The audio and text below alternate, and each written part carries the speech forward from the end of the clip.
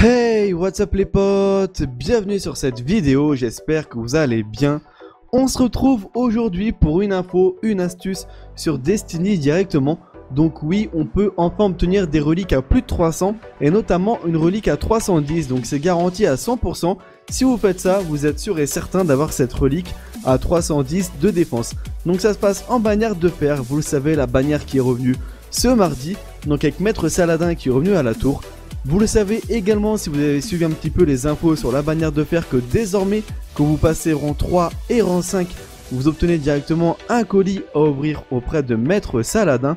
Et eh bien dans le colis qui est rang 3, vous le voyez à l'écran, ces screens sont tirés du site Reddit. Et eh bien quand vous êtes rang 3, vous ouvrez votre colis et vous obtenez une relique. Cette relique est de couleur bleue donc rare. Et quand vous allez dans votre inventaire, vous voyez que cette relique a 310 de défense donc ça vous permettra d'obtenir un petit peu plus de lumière.